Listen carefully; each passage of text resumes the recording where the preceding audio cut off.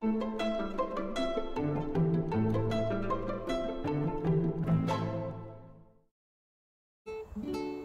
Assalamualaikum. Jumpa lagi di episode Senior Berbagi kali ini.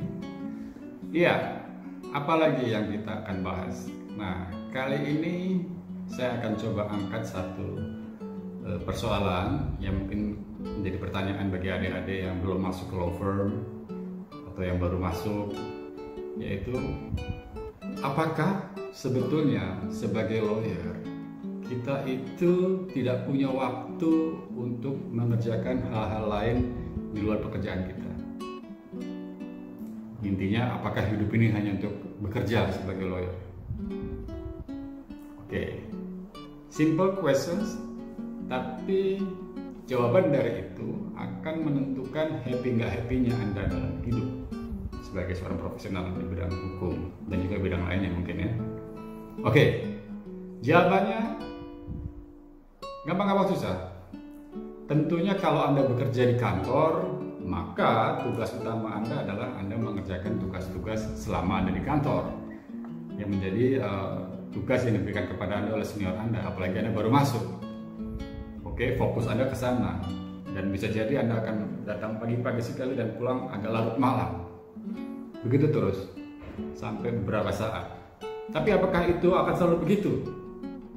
Tentunya tidak ketika momennya sudah sampai, ketika Anda sudah mulai uh, mapan, terbiasa mengerjakan tugas-tugas, maka Anda akan menemukan sebetulnya ada celah-celah waktu di mana Anda bisa melakukan hal-hal yang lain. Apalagi tentunya semakin senior Anda semakin punya fleksibilitas karena sudah akan ada uh, asisten Anda nantinya gitu ya. Apa misalnya? Memang yang namanya hidup harus imbang kita bekerja satu hal, tapi juga kita jangan lupa banyak hal lain yang juga harus kita uh, pikirkan dalam hidup ini. Tidak hanya pekerjaan kita.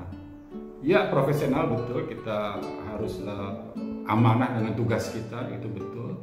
Tapi kita juga punya kendali untuk mengendalikan apakah memang hanya ini hidup kita. Apalagi nanti kalau semakin senior, maka isunya adalah bukan karena masalah perintah dari senior Anda, tapi pilihan ada pada diri Anda sendiri. Apakah memang Anda akan memilih untuk sepenuhnya dedicated your time hanya untuk bekerja?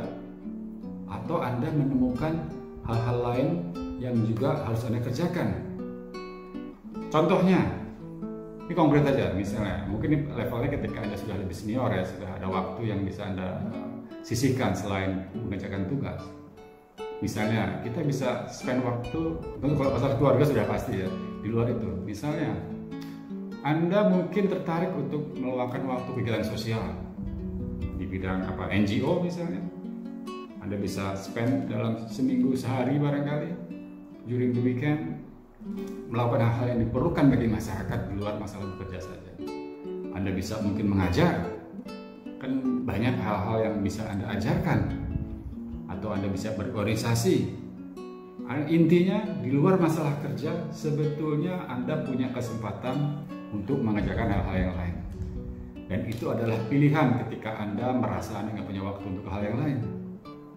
Oke, ya memang ada pengorbanannya. Katakanlah kalau Anda sepenuhnya bekerja untuk urusan kantor, mungkin Anda bisa mengerjakan 10 klien. Tapi karena Anda ada uh, pemikiran untuk mengajarkan hal yang lain. Untuk NGO misalnya mengajar dan seterusnya terpaksa Anda hanya bisa mengerjakan 8 klien semua dengan kualitas yang baik tentunya. Artinya apa efeknya? efeknya hanya Anda secara komersial menjadi agak sedikit terkurangi gara-gara Anda hanya mengerjakan 8 klien instead of 10 walaupun 8 itu dikerjakan dengan sempurna.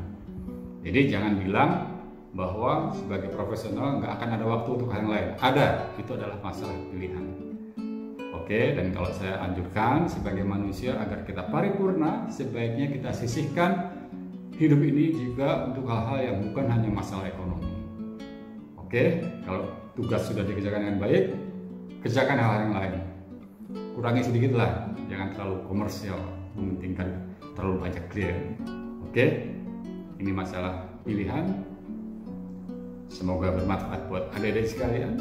Saya yakin kalian cukup bijak. Semoga Anda sukses. Wassalam.